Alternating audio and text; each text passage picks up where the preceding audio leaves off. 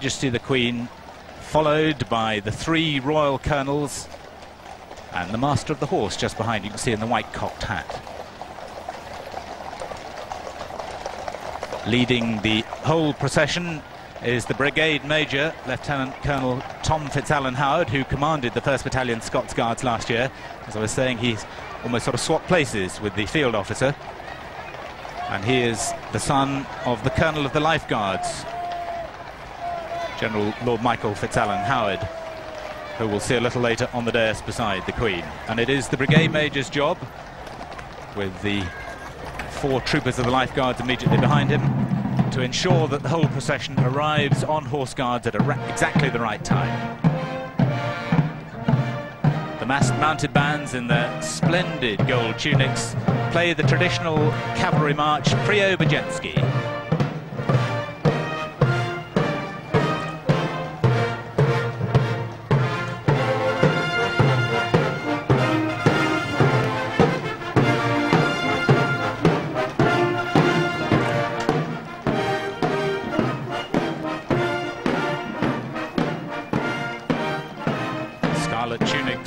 plumes of the lifeguards, Divisions 1 and 2 of the Sovereign's Escort.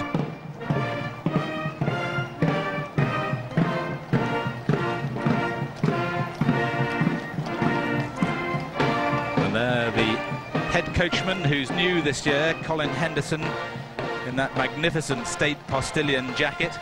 They cost several thousand pounds. I asked him if he'd be getting a new one, and he said he didn't think so. Some of them are one over a hundred years old in the Royal Mews.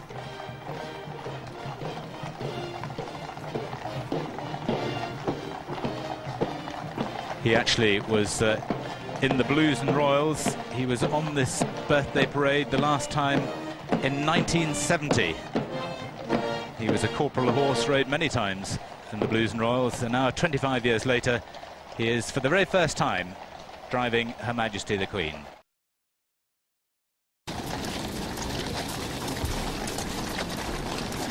Behind Her Majesty, the three colonels.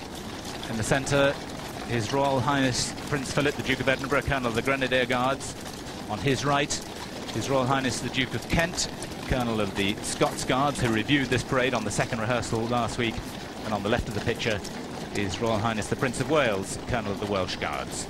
The only Royal Colonel missing this year is the Colonel of the Irish Guards, the Grand Duke Prince John, the Grand Duke of Luxembourg, who's away on other duties.